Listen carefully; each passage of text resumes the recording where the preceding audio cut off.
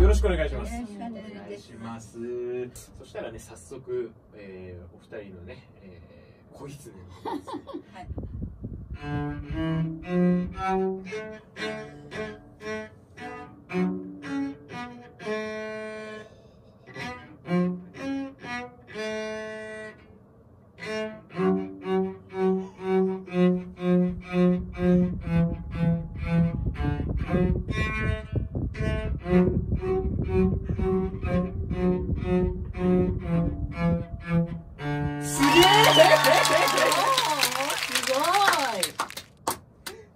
ごいまた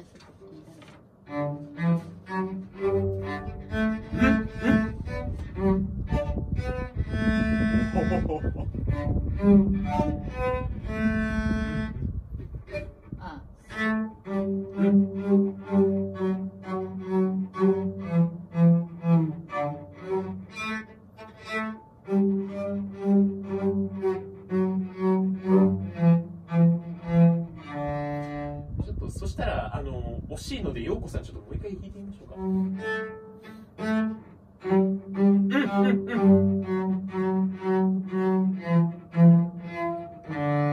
あよくなった。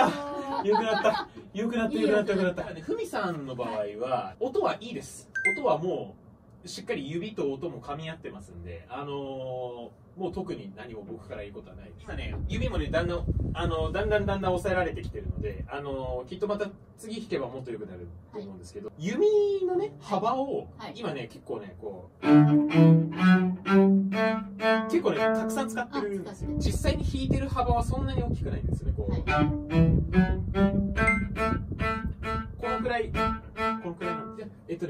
もね、左手に少しね、意識を持っていきながら、はいこう少しで、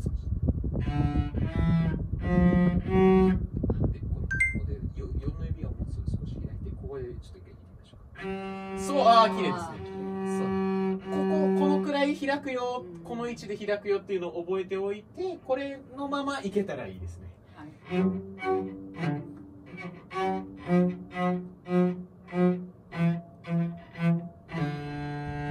あともう指が迷わなければ大丈夫ですね。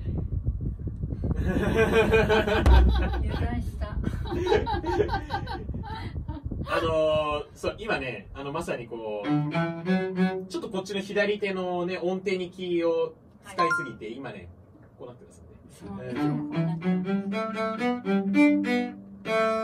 こうこうこういうこうこうなっちゃうなん多分ねあのーあもう抑えなくていいんだ解放されたみたいなこう気持ちでもう。そうね。曲が終わるまでね抑えは続きますので本当ですよね。でも今ねだんだん音程もちょっとずつね良くなってきてますんで。そうですそうです。いい感じですよ。で今あのーどうしてもねこう一個のことに集中するとなかなかあのーなんなんていうかこうこういう風になったりとかあの他の部分がちょっとなかなかねあの指どこを押さえるんだっけみたいなのがちょっと注意回らなくなっちゃったりするんですけど音をねちょっと一回録画して差し上げる。といいかわお。なわお。どうぞ。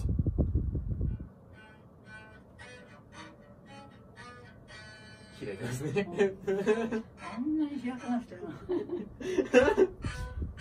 今後の万歳こうなっちゃうとえっ、とここから吊り下がるのでもうこれこれ以上の力はかかんないんですよ、はい。そう。でここから力乗せようとしたらまあこういうふうに押さえつけるしかないのでまあこういう硬い音になるはい。で一方こうやってもうつり革の上でこういうふうにぶらこうやってこうはいぶら下がってます。通勤してますっていうこういう状態で、えーこのままこのままこのままこう下がってくると、まあ、自然とこうなりましてここの弦とかこの弓の部分に自分のこの体重を預ける気持ち。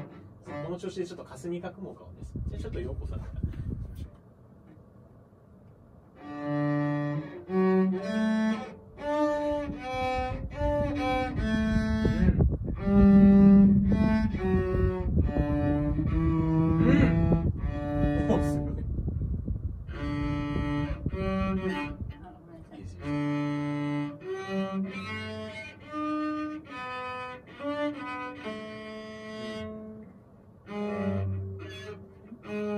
指ね開きすぎちゃってるかもしれない。ちょあそうちょっとえっ、と少し低く低く。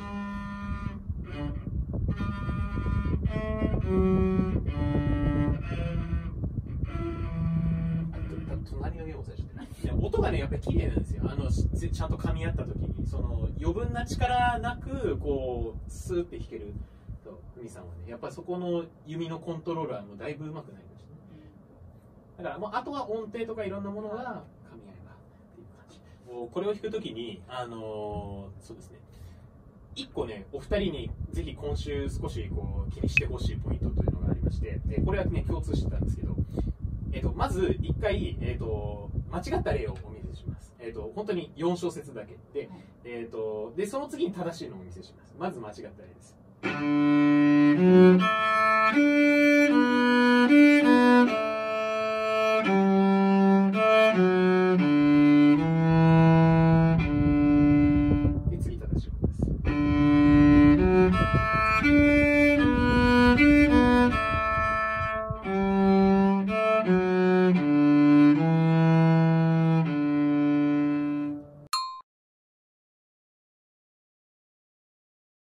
あえて演奏のクオリティとしては同じぐらいにしましたけども。